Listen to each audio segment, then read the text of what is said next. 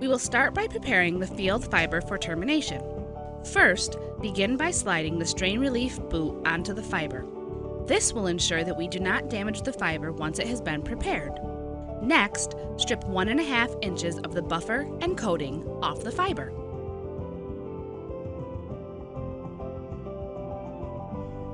Clean the stripped fiber with isopropyl alcohol. Cleave the fiber to 10 millimeters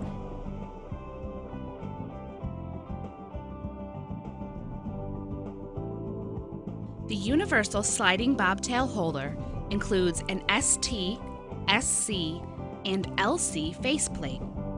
First, begin by attaching the appropriate faceplate for the connector style to the base of the unit. We are going to use an SC connector. For the best results, you may optimize your connection using either a light source and power meter, a visual fault locator, or an OTDR. When using any of these items to help optimize your connection, you must use a reference cord of the same type of fiber as the one you are terminating. In this video, we are going to use the FIS Pocket Fault Locator. First, place the bobtail connector on the inside of the assembly tool. Place the reference cord on the outside of the assembly tool and turn on the Pocket Fault Locator. The bobtail connector should now be glowing red. Place the dowel pin into the hole marked with the connector style you are using.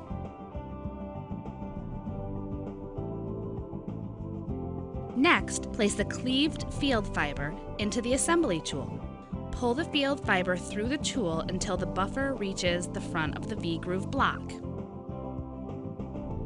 Once in place, close both clamp heads down onto the fiber while trying to minimize any fiber curl before closing.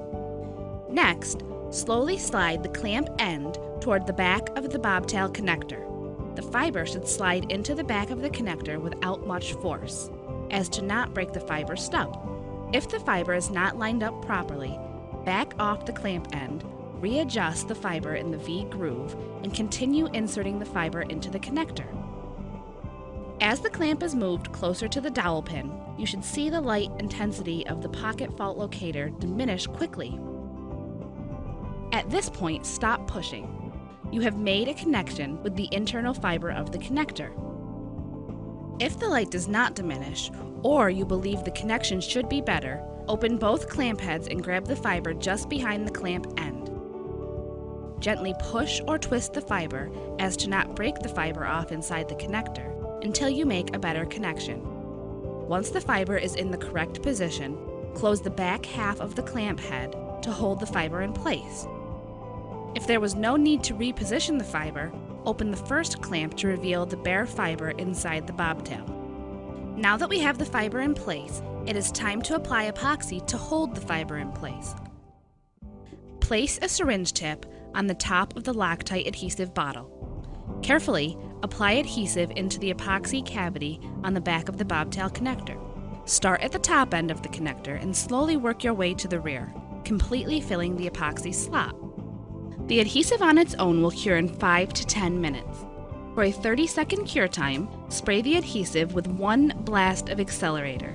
After 30 seconds have passed, the adhesive will be hardened enough to handle.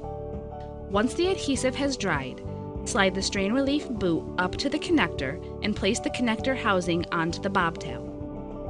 It is recommended that you clean the connector's ferrule with an alcohol wipe before inserting the bobtail connector into your network.